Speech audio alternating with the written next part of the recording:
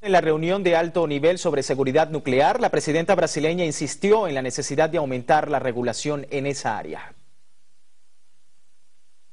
Sabemos que para muchas naciones la energía Sabemos que para muchas naciones la energía nuclear continuará siendo la alternativa para atender sus necesidades energéticas.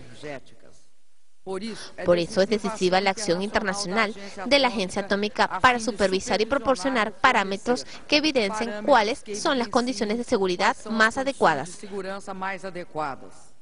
También cada Estado nacional debe aplicar en los programas nucleares los patrones de seguridad más elevados.